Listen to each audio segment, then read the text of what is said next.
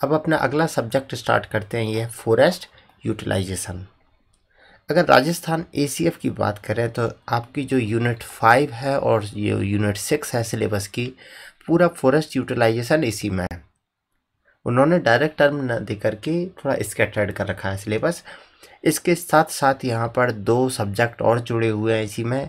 इसमें एक तो एनाटॉमी है वुड एनाटॉमी है, और इसके साथ दूसरा है इथनोबॉटनी है। तो इथनोबॉटनी और एनाटॉमी को यूटिलाइजेशन के बाद कवर किया जाएगा। एक एक वीडियो के हैं ये। यहाँ पर फॉरेस्ट यूटिलाइजेशन कंबाइंड रूप से जो यूनिट अपनी फाइव सिक्स है, उन्हें कवर करेंगे अगले छः वीडियो में। वीडियो थोड़ा कम होंगे, पैंतीस, चालीस मिनट के आसपास रखा जाएगा, जिससे आपको थोड़ा आसान जाए इनको वॉच करना, क्योंकि जब डेढ़ या दो घंटे के हो जाते हैं तो थोड़ा दिक्कत आ जाती है।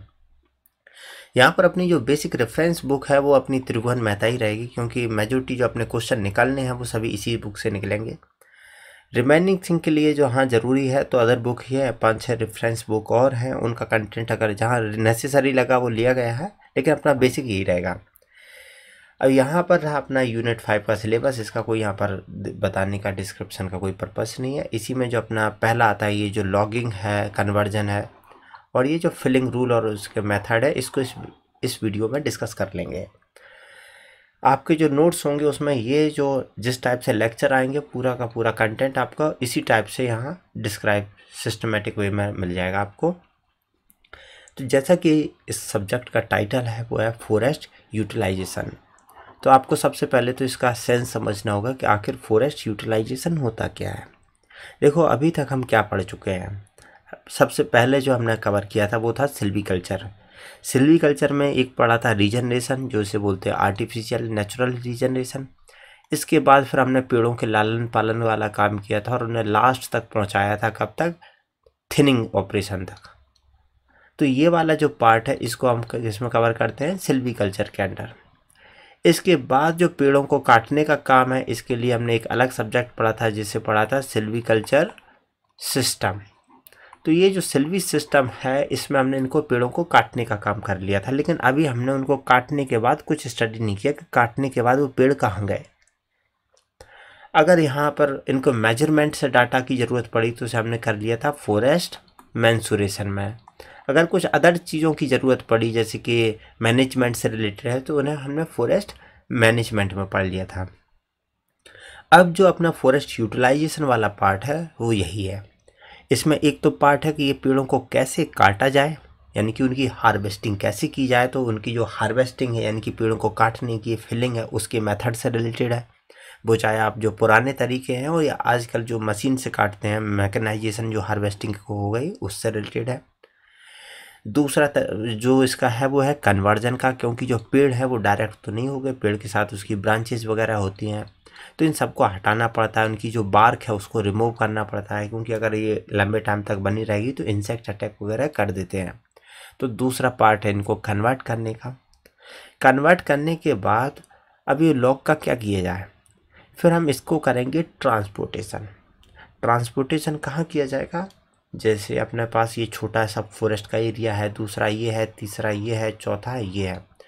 तो इन एरिया से जो वुड कट रहा है, उसे ट्रांसपोर्ट करके हम एक बड़े एरिया में लेके आएँगे, जिसे बोलते हैं फॉरेस्ट डिपो फॉरेस्ट डिपो इसका पर्पज़ यही है कि जो अपन को आगे के स्टेप करने हैं, वो हम हर जगह छोटे छोटे एरिया में तो जाके नहीं कर सकते हैं।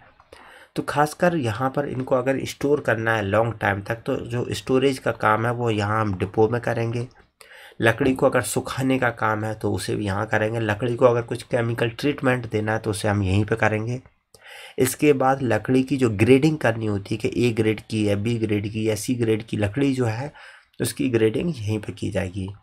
इसके बाद फॉरेस्ट डिपार्टमेंट इसकी ग्रेडिंग के हिसाब से इसकी क्या कर देगा? ऑक्सीनिंग कर देगा, बोली लगा देगा और फिर जो फैक्ट्री वाले ख़रीद के लेके जाएँगे इंडस्ट्री वाले ख़रीद के ले जाएँगे, वो अपना उनका आगे का काम है। तो यहाँ ये जो फॉरेस्ट यूटिलाइजेशन है, इसका काम है पेड़ों की हार्वेस्टिंग से लेकर के उनके लास्ट में डिस्पोजल तक। डिस्पोजल मतलब हमने पैसे लेकर के उन्हें लकड़ी पकड़ा दी। अब वो जाने हमारी साइड से वो डिस्पोज हो चुकी है टिम्बर तो हार्वेस्टिंग से लेकर के उसके डिस्पोजल तक की जो स्टडी है, जो मेथड्स है, जो प्रोसेस है, उस पूरे की जो जिस फ्रेमवर्क के अंडर आते हैं, उसे हम बोलते हैं फॉरेस्ट यूटिलाइजेशन तो इसमें अपने स्टेप क्या क्या आ जाएँगे? एक तो रहेगा उसका अपना हार्वेस्टिंग का काम, चाहे वो मैनुअल करें या मशीन से करें। फिर दूसरा है, इसके बाद काटने के बाद हम यहाँ पर इसी को कन्वर्ट कर देंगे, कन्वर्जन यहीं पे हो जाएगा। इसके बाद फिर हम क्या करेंगे, इसका ट्रांसपोर्टेशन। ट्रांसपोर्टेशन के बाद हम इसे लेकर के कहाँ जाएँगे, डिपो के आसपास। तो फिर हम जब डिपो वाला चैप्टर पढ़ेंगे, तब देखेंगे कि डिपो किस टाइप के होते हैं, कितने मेथड्स हैं डिपो के उस चीज़ को। और वैसे ही काम करेंगे या ट्रांसपोर्टेशन में, ट्रांसपोर्टेशन के टाइप वगैरह स्टडी करेंगे। डिपो में पहुँचने के बाद फिर हम इसकी करेंगे क्या? ग्रेडिंग वगैरह करेंगे इनकी। यहीं पे जो सीजनिंग आप पढ़ोगे एयर सीजनिंग तो जो सीजनिंग है या वुड प्रिजर्वेशन है तो जो प्रिजर्वेटिव है प्रिजर्वेशन उसके काम भी हम यहीं पर करेंगे। लास्ट में फिर हमारा काम होता है इसको ऑक्सीनिंग करना, बोली लगा देना, जो हमें सबसे अच्छी कीमत देगा, हम उसे लकड़ी पकड़ा देंगे और फिर जैसे सपोज़ कोई फैक्ट्री है, इसने सबसे अच्छी कीमत दी, ये लेके गई और फिर इसका काम है। तो हमारा काम जो है वो यहाँ तक का है, हमने उसे डिस्पोज कर दिया, अब वो कंपनी जाने और उसका काम जाने। हालाँकि ये कंपनी में जो पेपर और पल्प मेकिंग है पेपर मेक मैन्युफैक्चरिंग है, उसे थोड़ा बहुत हम पढ़ लेते हैं यहाँ पर।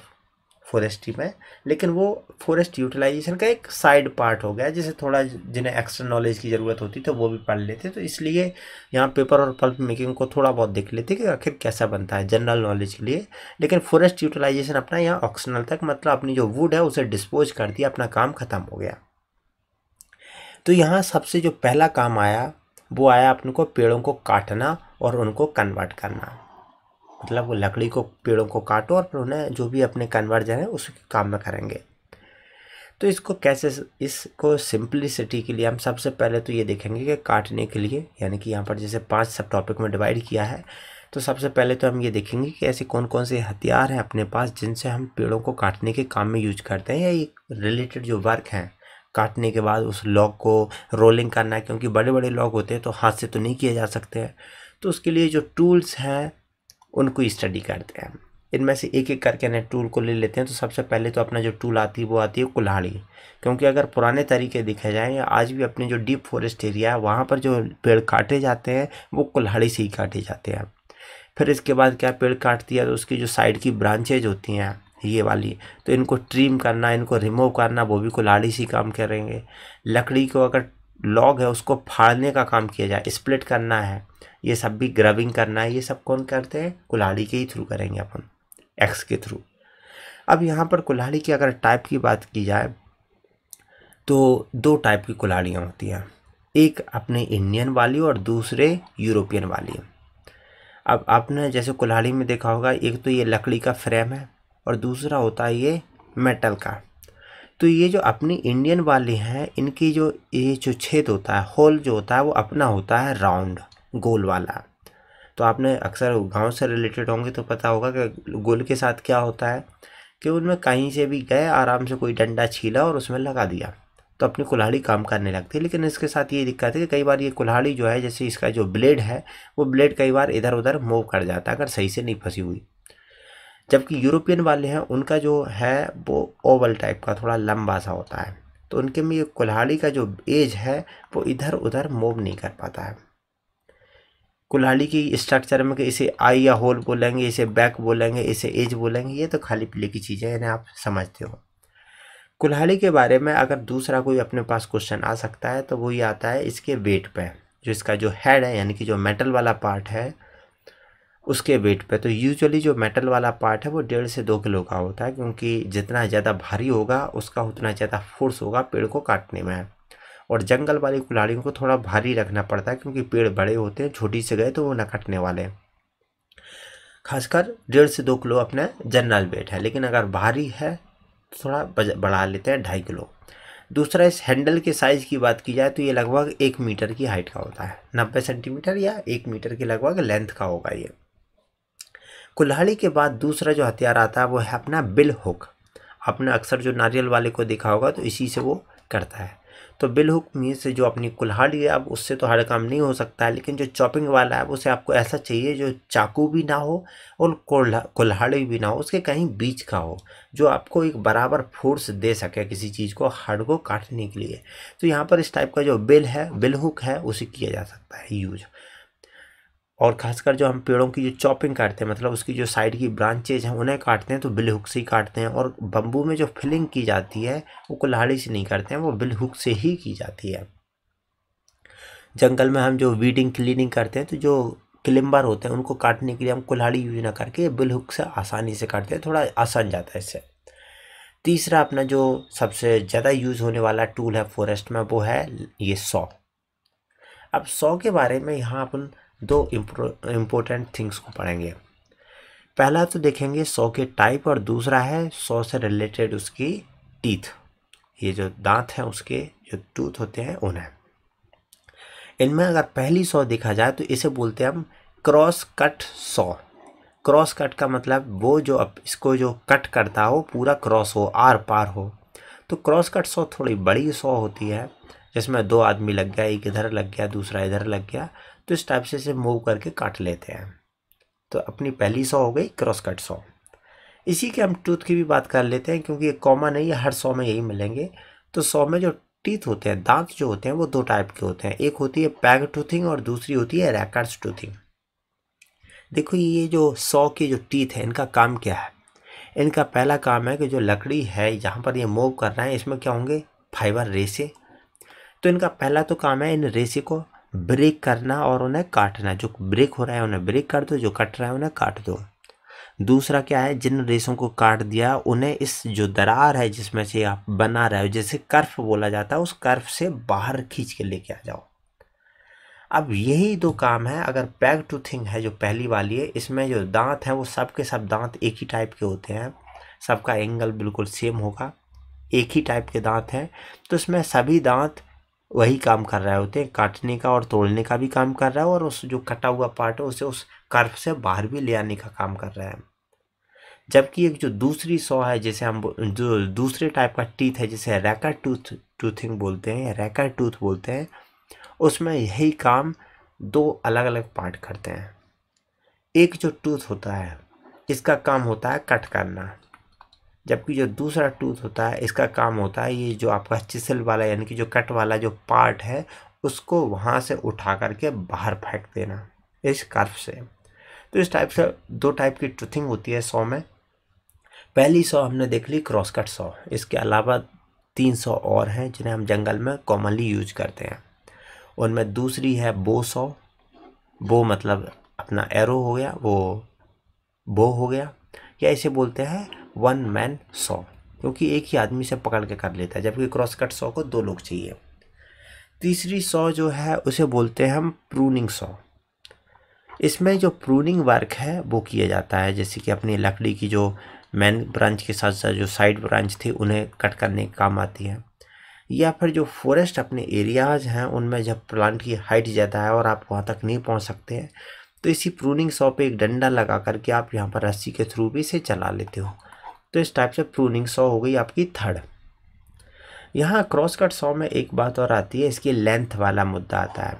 यहाँ पर अगर आपके पास टाइम है तो आप इन्हें याद रखो कि यूजुअली जब जो अपना लॉ है, जिसे, जो लॉग है, जिसे काट रहा है, अगर उसका लॉग का length of saw diameter of step तो यहाँ पर यह कि अगर तीस सेंटीमीटर का डायमीटर का अगर स्टेम है तो उसकी जो सौ है, उसकी लेंथ कितनी होनी चाहिए? तो इस पर रिलेटेड जो है ये आईसीआर वालों को याद रखने होते हैं, जो राजस्थान वाले हैं, उनमें ऐसे टिपिकल क्वेश्चन नहीं आएँगे।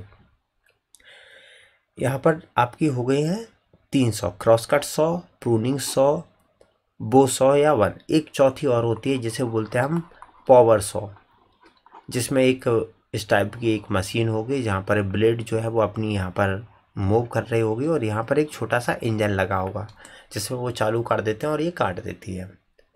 केवल चार ही के टाइप नहीं है, और भी हैं बट ये है कि हमारे जो फॉरेस्ट के लिए जो पर्पज़ है, उनमें इन चार से काम हो जाता है, इससे ज़्यादा की देखने की ज़रूरत नहीं है। और आज के टाइम पर तो ये भी चारों यूज़ नहीं करते हैं, जब मैकेनाइजेशन हो गया। यहाँ पर कटिंग से रिलेटेड एक और इम्पोर्टेंट बात है, वो है टर्मिनोलॉजी खासकर जो सौ से रिलेटेड टर्मिनोलॉजी जो अपनी सौ है, यानी कि इसमें जो टूथ है, जैसे कि यहाँ पर जो टूथ बना दिए, इनके दांत बना दिए हैं सौ के, ये ले लो। तो इससे रिलेटेड हैं, जैसे कि ये इसका क्या है फेस है, कि इसका पार्ट क्या हो गया बेस है।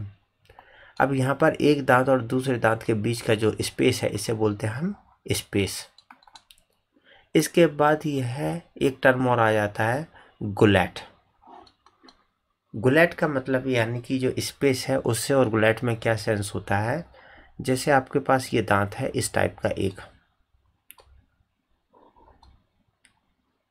अब इसमें आपकी जो ऊपर की स्पेसिंग है वो थोड़ी कम है, यानी कि ये पॉइंट और इसका बेस है, उस, वो लगभग एक ही डायरेक्शन में अगर ये 90 पे है। कुछ में ये थोड़ा इधर आ जाता है। तो उस केस में ये गुलेट जो है वो इसके एंगल से थोड़ा मेजर करते हैं कि इसका टॉप और इसका बेस इधर का स्टार्टिंग में कहाँ पर है। तो ये चीज़ है कि entire opening between two adjacent teeth दो एडजसेंट टीथ के बीच में जो ओपनिंग है, उसे क्या बोलते हैं? दूसरा, इसके एक जो सेंस है वो ये भी है कि जैसे आपके ये एक दांत है ये, दूसरा ये दांत है तो ये जो बीच की जो ओपनिंग है आपकी, ये वाला जो पार्ट है, इस वाले हिस्से को भी गुलेट बोला जाता है। तीसरा आता है पिच पिच का क्या है कि ये जो अपने दांत देखोगे टीथ ये बिल्कुल एक लाइन में नहीं होते हैं, कुछ क्या होंगे कि एक दाएँ साइड दूसरी बाएँ साइड ये थोड़ा इधर उधर सेट होते हैं। मीन्स टीथ जो है वो दोनों साइड में बेंट होते हैं। तो बेंट जो होते हैं साइड में बेंट होते हैं, उसे तो बोल दिया सेट लेकिन पिच का जो सेंस है वो है कि ये जो टीथ है, देखो, ये इसमें कोई मीन्स ये ये इसकी अलग पिच है। ये टीथ की बिल्कुल अलग पिच है और ये जो इस टाइप के टीथ है, उसकी बिल्कुल अलग पिच है। तो ये पिच होता है, वो इनका जो फेस किस टाइप का है, उससे रिलेटेड है। सेट मतलब ये साइड में कितने झुके हैं। इसके बाद जो टर्म आता है कर्फ कर्फ का मतलब होता है, ये जब काटता है तो ये जो दरार सी बनती है कटाई की तो उस कटार कटान को बोलते हैं कर्फ। सबसे ज़्यादा आपसे जो क्वेश्चन पूछा जाता है वो इसके कर्फ से ही पूछा गया है अभी तक। कर्फ या फिर इसकी जो पिच है उस पर पिच से। एक टर्म होता है गेज, आपने सुना होगा जैसे ट्रेन में बोलते हैं नैरो गेज या मीटर गेज तो मीटर गेज नैरो गेज का मतलब क्या है कि पटरी कितनी लंबी यानी कि पटरी कितनी मोटी है।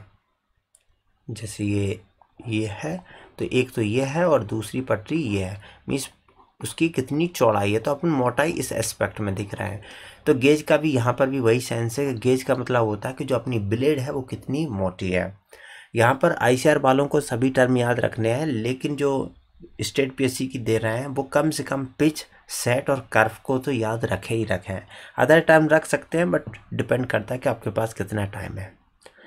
अब इसके अलावा और अपने पास क्या टूल है? एक तो आता है वेज, जो यहाँ पर जब लकड़ी को फाड़ते हैं तो यहाँ पर बीच में वेज लगा देते हैं। दूसरा है कांट हुक। कांट हुक में क्या होता है कि जैसे बड़े जो लॉग होते हैं, जब उन्हें रोलिंग करनी होती है, घुमाना होता है इस टाइप के रोल करना हो तो उसको कैसे किया जाए? हाथ से नहीं किया जा सकता तो फिर उसके लिए हम ये कांट हुक यूज़ करते हैं, जिसमें उसे फंसा के आसानी से रो, हम रोलिंग कर लेते हैं। लेकिन कभी कभी हमें ज़रूरत पड़ती है लॉक को एक जगह से दूसरी जगह तक खचोरने के लिए मूव करवाने के लिए। तो कैसे पकड़ोगे लॉक को? क्योंकि भारी है तो पकड़ना कई बार आसान नहीं जाता है। तो इसके लिए पकड़ने के लिए पिक्रून्स एक और टूल होता है जिसमें इस नोट को वहाँ पर एकदम ज़ोर से मार दिया तो अंदर घुस जाता है और फिर खचोर के लिए चले जाते हैं। अब इसका साथ में एक कन्वर्जन के टाइम पे और काम किया जाता है, वो किया जाता है बार्क को रिमूव करना। बार्क रिमूव क्यों करते हैं? कि बार्क बहुत ही सॉफ्ट वो पार्ट है और पेड़ को एक बार काट दिया तो बहुत सारे जो इंसेक्ट्स हैं पॉसिबल है कि वो इंसेक्ट बार्क पे अटैक कर दें। और एक बार उनने बार्क पे अटैक कर दिया तो फिर उसके थ्रू बाद में वो टिम्बर को भी डैमेज पहुँचा सकते हैं तो वो बार को ही हटा दो। तो अब बार को हटाने के दो टूल हैं, एक तो डी बार्किंग स्पैड अगर ये स्पैड जैसा है तो इसे हम बोलते हैं डी बार्किंग स्पैड और अगर ये इस टाइप का चाकू मान के चलो बना लिया स्पैड जैसा नहीं है तो इसे बोलते हैं डी बार्किंग नाइफ अब यहाँ पर अपने पास वो टूल हो गए हैं, जो हमें जनरली फॉरेस्ट में ज़रूरत पड़ती है। इनमें दो तीन और छूटे हैं जिनमें एक है मेज़रमेंट की कभी ज़रूरत पड़ जाती है तो वहाँ पर आप मेज़रमेंट स्टिक यूज़ कर लेते हैं कि लंबा सा डंडा होता है जिसमें दो पॉइंट होते हैं। तो इसे, ये जो डंडे हैं वो आपस में बढ़ से जाते हैं। ये दो होते हैं जो एक दूसरे में घुसे हुए हैं। तो इससे क्या होता है कि हम हाइट मेजर आसानी से कर सकते हैं किसी लॉग की। उठाने के लिए ये लॉग हुक आपको दिख ही रहा है, दो लोग आराम से लॉग को लेके हुक करके उसे लिए चले जाते हैं। आपने एक बात और देखा होगा कि जब हम पेड़ों को काटते हैं तो पेड़ों के काटते समय रस्सी को यूज़ किया जाता है। उसके पीछे रीज़न है कि हम चाहते हैं, जैसे यहाँ पर है, अगर ये पेड़ इधर गिर गया इस डायरेक्शन में तो ये जो आपका जो भी प्रॉपर्टी है, उसको डैमेज कर सकता है। तो आप चाहते हो कि पेड़ गिरे, वो स्पेसिफिक डायरेक्शन में ही गिरे। तो उसे स्पेसिफिक डायरेक्शन में गिराने के लिए आपको क्या करना होता है, कुछ तो यहाँ पर फिलिंग के मेथड है, दूसरा यहाँ पर उसको एक साइड से पुल कर देते हैं, जिससे वो इधर कोई आता है। तो जो पुल करोगे, अब इंसान तो पकड़ के खड़ा नहीं रहेगा।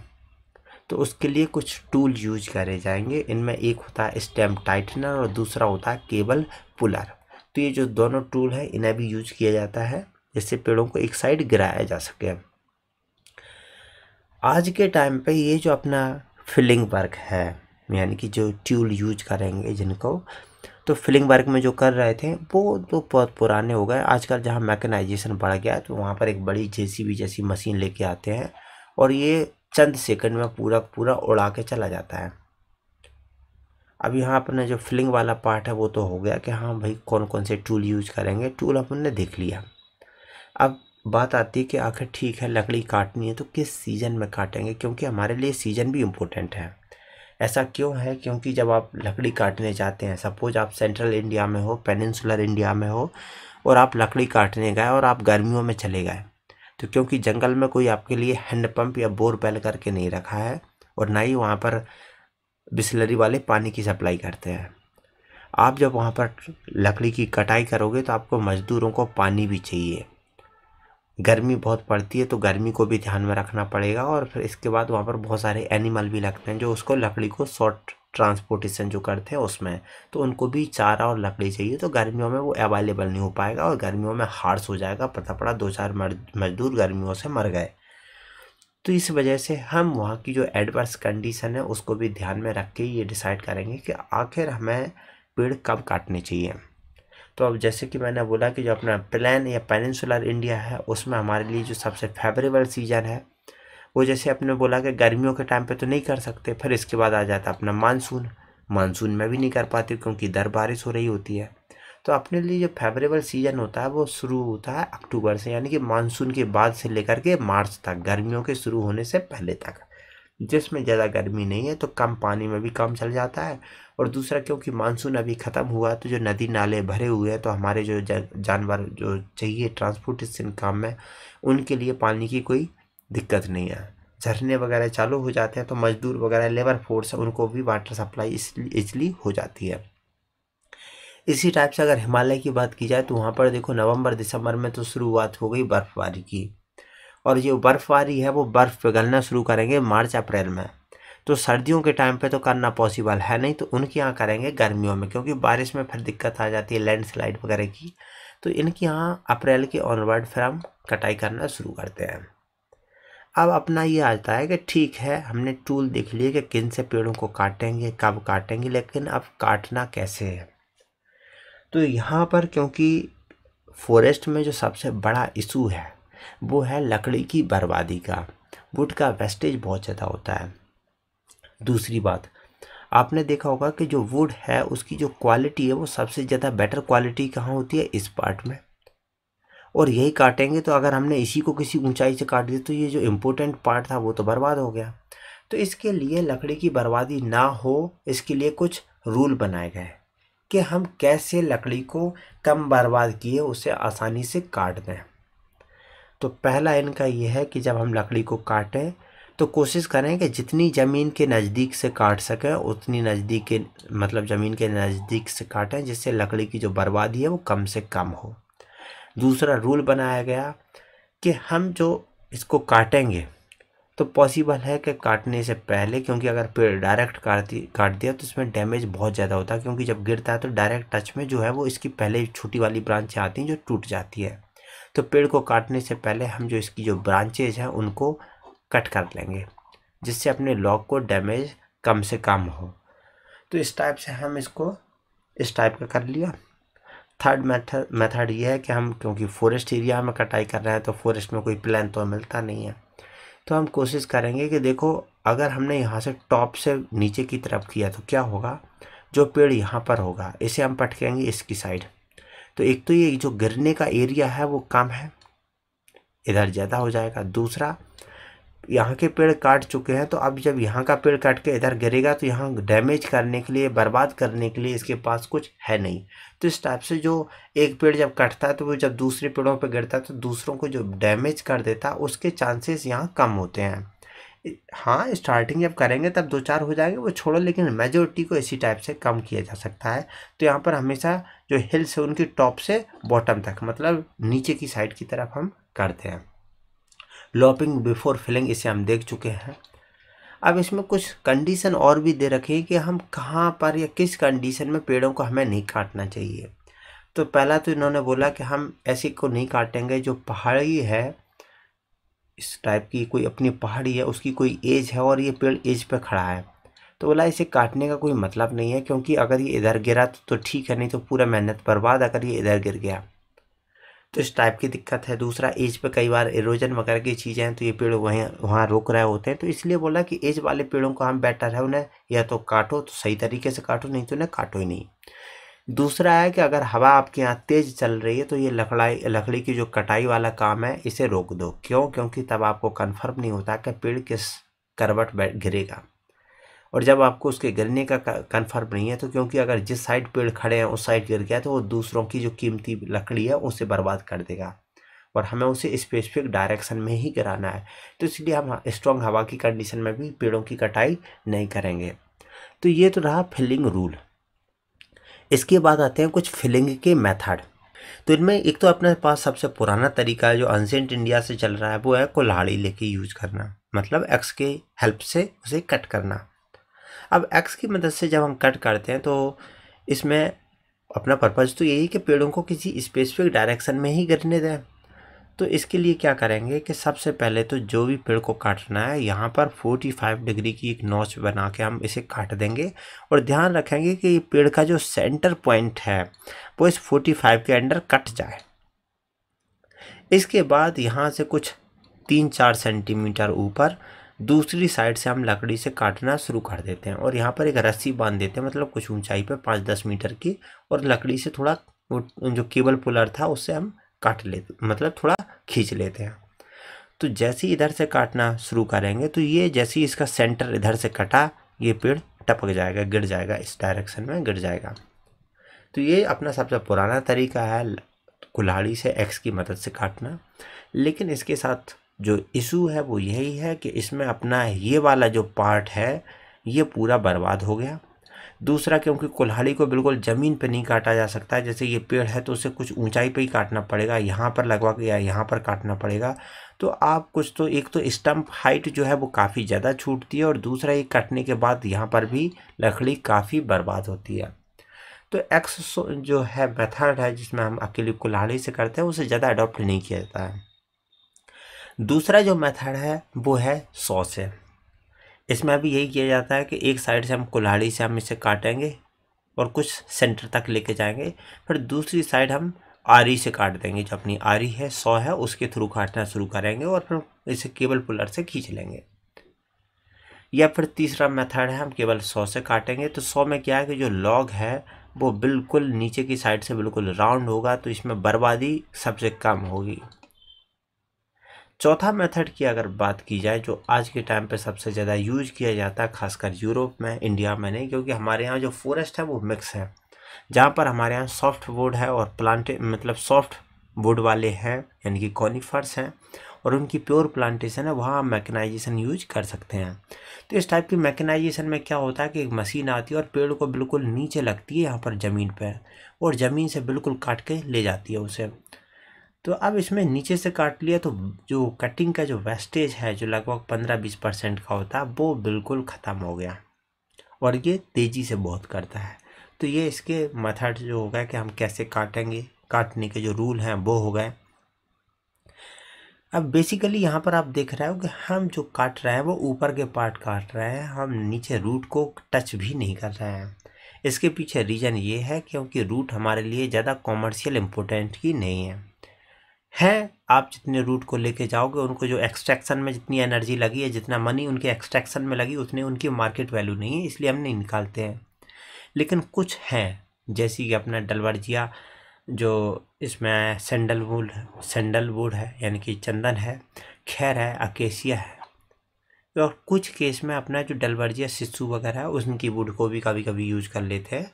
लेकिन बेसिकली आप याद रखो कि यहाँ पर खैर है और सैंडलवुड है। सैंडलवुड और खैर, और कभी कभी जो अखरोट होता है, जुगलन रेजिया इसकी, इन तीनों की जो वुड है, वो उसका मीन्स जो रूट है, उसका भी काफ़ी कॉमर्शियल इम्पोर्टेंस है तो उसे एक्सट्रैक्ट कर लिया जाता है।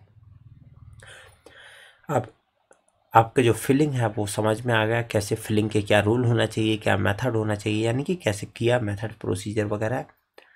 अब अपना काम होता है उसको लॉग को बनाना लॉग मेकिंग ये है क्या? देखो जंगल से जो हमने पेड़ काटे, वो पेड़ तो सीधा सपोज़ ये पेड़ रहा, लेकिन ये जो पेड़ है, इसके साथ एक तो क्या है, इसकी बार्क दूसरा इसमें बहुत सारी है ब्रांचेज कई बार ऊपर वाली जो ब्रांचेज हैं वो पूरी नहीं कटती हैं, खासकर जो छोटी छोटी हैं कॉनीफर्स वगैरह में। तो फिर इसको हमें क्या करना होता है ब्रांचेज वगैरह को भी साफ़ कर देते हैं।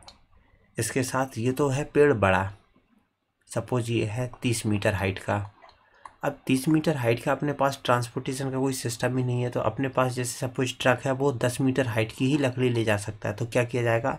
इसको कट किया जाएगा। दस मीटर बाय दस मीटर के तो इस टाइप से तीन लॉग में डिवाइड किया जाएगा। तो ये जो लॉग में बनाना है, इसे बोलते हैं लॉग मेकिंग लॉग मेकिंग से क्या होगा? एक तो जो अन अनवांटेड पार्ट्स है, जैसे कि बार्क है, ये ब्रांचेज वगैरह थी, या इसी में कोई डिफेक्टिव पार्ट था, वो वाली जो चीज़ें हैं ये अनवांटेड पार्ट है, उसे रिड्यूस कर दिया जाएगा। दूसरा ये डिफेक्टिव पार्ट है, उसे वहीं पर निकाल दिया जाएगा। क्यों? जिससे अपना जो ट्रांसपोर्टेशन का जो मटेरियल है, वो थोड़ा साइज़ में कम हो। साइज़ में कम होगा तो ट्रांसपोर्टेशन थोड़ा सस्ता पड़ जाएगा कॉस्ट इफ़ेक्टिव पड़ जाएगा। और उसे मार्केट की रिक्वायरमेंट के हिसाब से अपन एडजस्ट कर लेते हैं। थर्ड आता है अपना कन्वर्जन कन्वर्जन का पर्पज़ यही है कि अगर हमें और भी इसको, जो साइज़ है, उसे रिड्यूस करना है तो फिर हम उसे सीधे के सीधे अपने जो फ्लैंक है, जिसमें भी अपन को फाइनल कन्वर्ट करना है, उसमें वहीं फॉरेस्ट एरिया में ही कन्वर्ट कर लेते हैं। जो अपने इस लेक्चर की जो फ़र्स्ट स्लाइड की जो पिक्चर थी, उसमें भी यही दिखाया गया है। ये देखो पूरे पूरे स्टोर टिम्बर है, जिनकी एक तो हमने क्या निकाल दी है बार्क निकाल चुके हैं, और ये पूरा इनको कन्वर्ट कर रखा है। सबकी साइज़ जो है वो बिल्कुल एक है मतलब लॉग मेकिंग इनकी हो चुकी है डी बार्किंग हो चुकी है और कन्वर्टेड हो रखे हैं, जैसी कि रिक्वायरमेंट होगी किसी इंडस्ट्री की, यहाँ पर इसका साइज़ देखो, ये राउंड होगा, लेकिन इन्होंने इसे यहाँ पर इस टाइप से कट एक मार्किंग दिख रही है आपको। यानी कि इसको कन्वर्ट करके किसी इंडस्ट्री की स्पेसिफिक उसको शेप दे दिया जा चुका है। अब जब कन्वर्ट करते हैं तो कन्वर्जन में हम कुछ स्पेसिफिक साइज़ हैं जो कॉमन पॉपुलर जो टर्म है, उन्हें देख लेते हैं, क्योंकि इन पर क्वेश्चन आए। इनमें आपने एक तो देखा होगा प्लांक इस टाइप का जो लकड़ी का फट्टा होता है, फट्टा बनाने को हम क्या बोलते हैं? वुडन प्लांक या वुडन स्लैब इसे टर्म यूज़ किया जाता है प्लांक ये प्लांक टर्म कई बार पूछा जा चुका है। दूसरा होता है अपना जो कॉमन चीज़ है, लकड़ी के जो लंबे लंबे से, डंडे से होते हैं, इन्हें बोलते हैं अपन पोम, पोल। इसके साथ आपने दो टर्म और पढ़े होंगे, इनमें एक होती है बीम और दूसरी होती है स्कैंटलिंग देखो, बीम होती है लकड़ी का बड़ा, जो कम से कम चार मीटर की हाइट हो, ये ध्यान रखो, चार मीटर की इसकी कम से कम लेंथ हो। और इसका जो क्रॉस सेक्शन का जो एरिया मतलब ये वाला या ये वाला, दोनों ही लगभग पंद्रह सेंटीमीटर बाय पंद्रह सेंटीमीटर से ज़्यादा हों, छोटे ना हों। लेकिन अगर ये उससे थोड़े छोटे हैं मतलब इस टाइप के जो पतले पतले से छोटे छोटे जो आपको मिल जाते हैं, जब एक्चुअल में जब लकड़ी की कटाई की जाती है तो वो बीम ही बनाते हैं। लेकिन बीम के साथ जो साइड वाले जो पार्ट है, उनसे छोटे छोटे जो फट्टे से निकल आते हैं, उन्हें बोलते हैं हम स्कैंटलिंग तो यहाँ पर ये जो चारों टर्म है, इनको याद रखना है, क्योंकि ये काफ़ी इम्पोर्टेंट है। इसी में जो अपनी ट्रेन है, क्योंकि आज के टाइम पे तो ज़रूरत नहीं है, लेकिन पुराने टाइम पे जब कन्वर्जन होता था तो ट्रेन की पटरियों के लिए ही मेनली ये यूज़ करते थे हम। तो उसके लिए उसी टाइम पे स्कैंटलिंग की जाती थी, या ये जो बीम बनाई जाती थी, वो उसी के हिसाब से बनाई जाती थी। तो क्योंकि ट्रेन की पटरी आज के टाइम पे चार टाइप की चलती है। जिसमें एक अपनी है लाइट है, फिर नैरो गेज है मीटर गेज है ब्रॉड गेज है। अब क्योंकि ये जो चार टर्म है, इनका अपने सब्जेक्ट से तो रिलिंकेज नहीं है। लेकिन ये त्रिभुवन मेहता की बुक में दे रखा है। और दे रखा है तो फिर जो टीचर्स हैं, उनकी नज़र पड़ जाती है और उन पर क्वेश्चन आ जाते हैं। तो इन पर भी क्वेश्चन पूछ लिया है। क्वेश्चन उन्होंने यहाँ पर आपको इसका जो साइज़ है उस पर पूछा है। इसमें जो आपसे सीधा से सीधा साइज़ याद रखना है जो आपको, वो याद रखना है मीटर गेज का और ब्रॉड गेज का। ब्रॉड गेज में जो है, लंबाई जो इसकी है, वो है दो सौ पचहत्तर। आपको पूरा याद रखने की ज़रूरत नहीं है, ये याद रखो कि ये है दो सौ पचहत्तर, ये है वन एट्टी थ्री, ये है डेढ़ सौ। तो कैसे याद रख सकते हो? वन फिफ्टी, वन एट्टी और टू सेवेंटी फाइव। बस इतने डाटा याद रख लो तो समझ में आ जाता है कि हाइट का है तो जो अपने इनके क्वेश्चन आते हैं, उसको इस हिसाब से अपन सेग्रीगेट कर लेते हैं। अब आते हैं अपने इसके सॉविंग वाले मुद्दे पे। जब लकड़ी को सॉ किया जाता है, काटा जाता है हार्वेस्ट उसके टाइम पर मशीन मैकेनाइजेशन के टाइम पर कन्वर्जन के टाइम पर तो उस टाइम पे इसके सौ करने के चार तरीके होते हैं, या यूजुअली हमें सिलेबस में क्वेश्चन नहीं आते हैं। यहाँ पर एक ही तरीका है जिसमें क्वेश्चन आते हैं, वो आता है क्वार्टर सौ। देखो, काटने के चार तरीके हैं, इसमें एक है लाइव सौ पेन प्लेन सौ रिफ्ट सौ। ये तरीके दे रहे होंगे, जैसे रिफ्ट सौ में क्या करेंगे हम? ये जो काटेंगे, इस पहले लकड़ी के हम चार फट्टे बनाएँगे मतलब जो लॉग है उसको चार पीस में बांटेंगे, फिर हर पीस को ऐसे खड़े खड़े करके अपने प्लैंक निकाल देंगे उसमें। लाइव शो में हम एक साइड से प्लैंक निकालना शुरू करते हैं। इसमें आपको अलग अलग तरीके दिख रहे होंगे। इसमें जिस, इसकी वजह से क्या होते हैं? सभी के सभी प्लैंक लगभग एक ही साइज़ के होते हैं। ये जो क्वार्टर सौ है, इसमें क्या होगा? पहले हम इसके चार पार्ट करेंगे। मतलब इसका क्या करेंगे? क्वार्टर करेंगे। इस क्वार्टर के बाद इसको क्वार्टर करने के बाद फिर हम उसके एक पीस को लेंगे और फिर उसके फट्टे निकालेंगे मतलब उसके प्लैंक निकालेंगे। आपको बस इतना याद रखना है कि क्वार्टर सौ में इसके चार पीस करके उसके फट्टे बनाए जाते हैं, बस अपना काम ख़त्म। तो यहाँ पर क्वेश्चन जो आपसे आएँगे, वो पूछा जाएगा कि ग्रैंड की किस सपोर्ट में ये जो लकड़ी है, इसमें जो फाइबर होते हैं, वो ग्रैंड बिल्कुल ऐसे होते हैं। सीधे खड़े खड़े बाहर की तरफ़ जाते हैं। तो जो क्वार्टर सौ में जो फट्टे हैं, वो सीधे ग्रैन के ही पैरेलल में होते हैं। बस इतना याद रखना, अपना क्वेश्चन निकल आया है। केवल यही क्वेश्चन आते हैं कि वो ग्रैन के पैरेलल में होते हैं। अब अपना इस पार्ट का जो वीडियो है, इस पार्ट का लास्ट पार्ट में चलते हैं, जिसमें है लकड़ी की बर्बादी। देखो, जितना भी अपने लकड़ी को काटा है, उसकी जो स्टार्टिंग में फिलिंग थी फिलिंग से लेके फिर उसको कन्वर्ट किया तब बर्बाद हुआ होगा। फिलिंग के टाइम पे तो हुआ ही था। फिर ट्रांसपोर्टेशन करेंगे तो उस टाइम पे कुछ ट्रक से दो चार लकड़ी उकड़ी इधर उधर चली जाती हैं। कई बार ट्रक पलट गया तो डैमेज होता है। फिर उन्हें मार्क वहाँ पर मार्केट तक जाएँगे, फिर उस पर कहीं कोई टिम्बर अटैक मतलब इंसेक्ट पेस्ट अटैक कर देंगे। तो इस टाइप से कुल मिला के अगर देख लिया जाए तो हमारी जो लकड़ी है, वो लगभग पचपन परसेंट के आसपास बर्बाद हो जाती है। आप खुद सोचो कि आपके यहाँ जो भी प्रोडक्शन हो रहा है, उसका अगर पचपन परसेंट बर्बाद हो रहा है तो ये छोटा मोटा नहीं है, बहुत बड़ी बर्बादी है। तो अब इसको क्या किया जाए?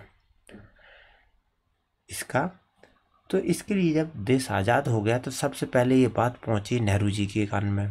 तो उनसे बोला गया कि ये लकड़ी की जो बर्बादी है, उसे रोकना चाहिए हमें, क्योंकि हमारे फॉरेस्ट पर प्रेशर ज़्यादा है डिमांड ज़्यादा है सप्लाई हो नहीं पा रही है। और सप्लाई की तो ज़रूरत ही नहीं है। हमारे पास जो है, अगर बर्बादी कम कर दें तो हम काफ़ी सप्लाई को वैसे ही बढ़ा देंगे। तो उस टाइम पे इन्होंने कुछ लोगों को बिठाला, उन्होंने रिकमेंडेशन की। ये है और उनकी रिकमेंडेशन के बेस पे यहाँ पर जो बटोट है जम्मू कश्मीर में, वहाँ पर एक लॉगिंग ट्रेनिंग सेंटर खोला गया। इस ट्रेनिंग सेंटर का जो ऑब्जेक्टिव था, वो यही था कि क्योंकि लकड़ी काटते तो मज़दूर है तो मज़दूरों को सिखाया जाए कि लकड़ी को कैसे बेटर तरीके से काटा जाए। जिससे जब पेड़ काटने के बाद गिरे तो किस डायरेक्शन में गिरे? तो जो आपको फिलिंग रूल बताए थे कि आप पहाड़ी में ऊपर से नीचे की तरफ़ काट के जाओगे आप बेटर है, कुल्हाड़ी की जगह आप सौ से काटोगे। तो ये सारी जो चीज़ें चल रही हैं, वो कहीं ना कहीं ये लॉगिक ट्रेनिंग सेंटर की ही देन है, क्योंकि ये उस पर वर्क कर रहा है, जिससे इसका जो वेस्टेज है, उसे कम किया जा सके। तो आप पे इस पर क्वेश्चन आ जाता है कि कहाँ पर है बटोट में? इसके क्वेश्चन आए हुए हैं। अब इससे पहले, क्योंकि बटोट में नेहरू जी ने जो किया, ये तो ऐसा तो नहीं कि सबसे पहले यही करके गए। इससे पहले भी काम चल रहे थे तो वहाँ पर जो अपना फ़र्स्ट जो सेकेंड फाइव ईयर प्लान था।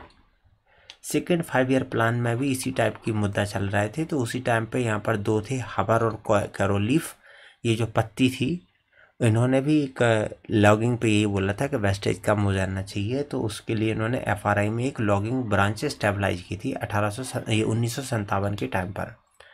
इनका कोई अपने लिए ज़्यादा सेंस नहीं है। एफ़ आर आई की ब्रांच का, बस इतना याद रख लो कि रिकमेंडेशन किसी की थी हबर एंड कैरोलीव की। ये आई सी आर वालों के लिए तो मोस्ट इम्पोर्टेंट है, लेकिन राजस्थान वाले ये बटूट से काम चला लेंगे।